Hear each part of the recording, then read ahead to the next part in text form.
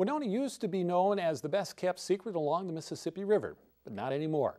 A variety of activities ranging from the arts to the outdoors have made our city a destination for many.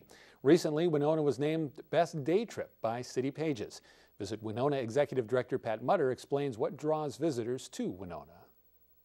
I think for people uh, outside of the area, they are um, very happy to find out that we have so much to offer people as far as things to do, not just for a day, but overnight or for a few days. I think we have great arts, and certainly our summer festivals have become very well known and, and very much appreciated.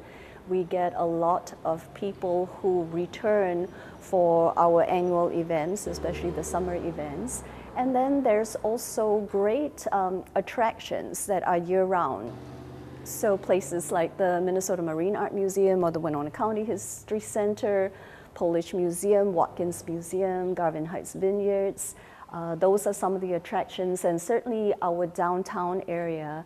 I think we have had so many new businesses or businesses that have moved to the downtown area that are very unique and, and offer um, great products that you may not be able to find elsewhere. And there's also just wonderful outdoor recreation. Uh, we as Visit Winona have started to put a focus on letting people know that the river offers great canoeing and kayaking and fishing and birding. And we have been working very closely with the city of Winona for uh, offerings at Lake Park Lodge and Lake Park Winona and with Winona State Outdoor Recreation, offering things like weekly rock climbing up Sugarloaf and also paddling in the backwaters. Um, we worked last year with the Upper Mississippi Wildlife and Fish Refuge and uh, DNR to do the first Minnesota Water Trails Day. So we are very blessed in Winona to have so many great things. We won the same award a few years ago.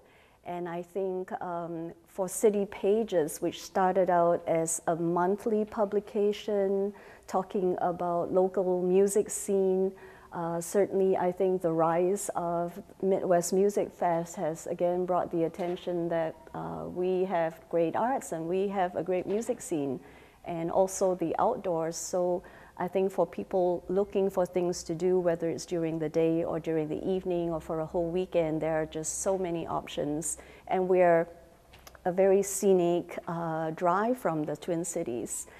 Uh, as far as I know, they have a readership of about 70,000, and that's a lot of people. And uh, this was voted by the readers, so we are very um, proud and we're just very grateful to all the people who voted for Winona as the best day trip.